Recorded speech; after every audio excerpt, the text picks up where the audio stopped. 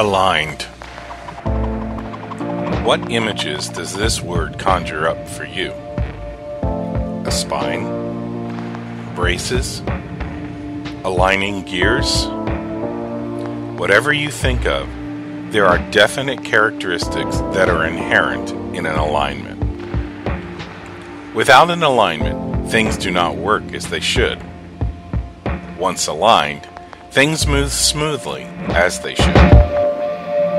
From the standpoint of an automobile, wheel alignments are crucial to proper functioning. A misaligned car will soon drift off track. Thousands of cars are on the road every day. What if most of them were misaligned?